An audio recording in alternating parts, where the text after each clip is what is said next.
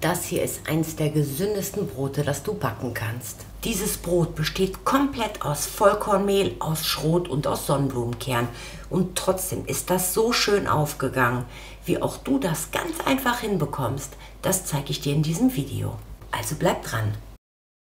Hier habe ich 430 Milliliter handwarmes Wasser.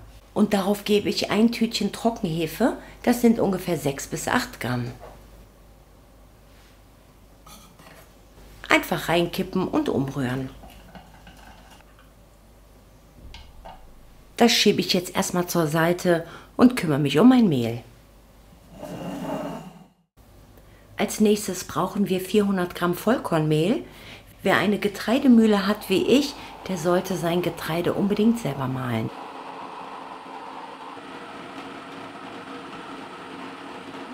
Das fülle ich mir hier in eine Schüssel um.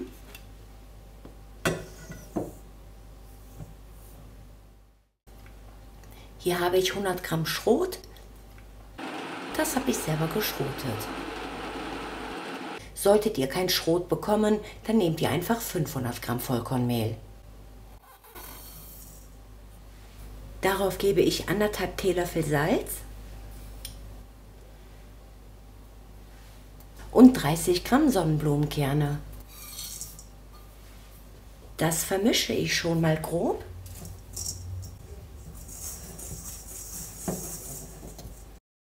Hier habe ich meine aufgelöste Hefe. Noch einmal umrühren und dann auf das Mehl kippen. Und das lasse ich mit meiner Küchenmaschine durchkneten.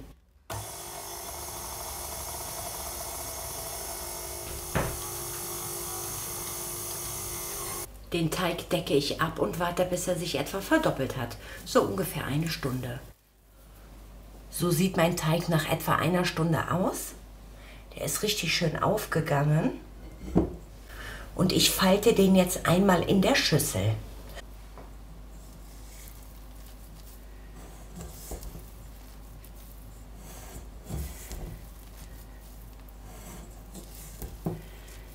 Dann nehme ich meine Backform. Ich habe hier einfach so eine Springform mit einem hohen Rand. Ich streue gerne ein bisschen Schrot auf den Boden und den Teig fülle ich einfach in meine Form.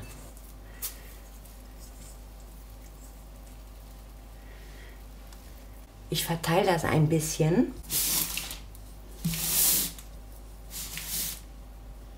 So sieht mein Teig aus. Und da streue ich auch noch mal ein bisschen Schrot drauf. Ich lasse meinen Teig jetzt noch mal so ungefähr 20 Minuten stehen, heize in der Zwischenzeit meinen Backofen vor auf 200 Grad Ober-Unterhitze und darin backe ich das Brot für etwa 45 bis 50 Minuten. Nach 20 Minuten drehe ich allerdings die Temperatur runter auf 180 Grad. Mein Brot ist fertig. Das war jetzt 45 Minuten drin und wenn ihr mal nicht sicher seid, ob euer Brot wirklich durchgebacken ist, dann nehmt ihr so ein Thermometer, das stecht ihr dann einfach in das Brot und wenn die Temperatur zwischen 95 und 100 Grad steigt, dann ist das Brot durch. Ich habe 100 Grad, das Brot ist definitiv durch. Das hole ich raus. Boah, das lässt sich super lösen.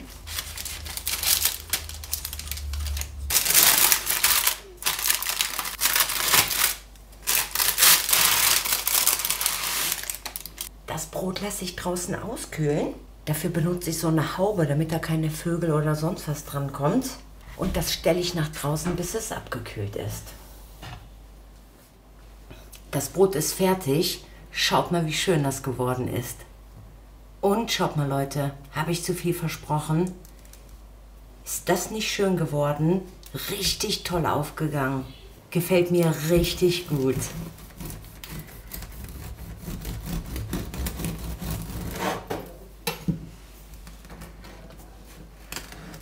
Sieht das klasse aus. Boah, schaut mal.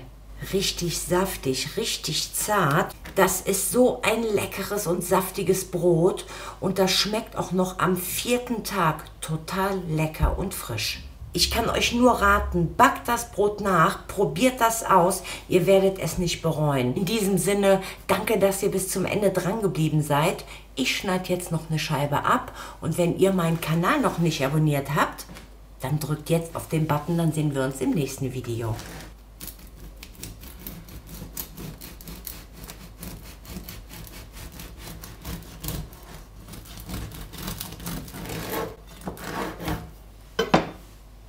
Einfach super das Brot.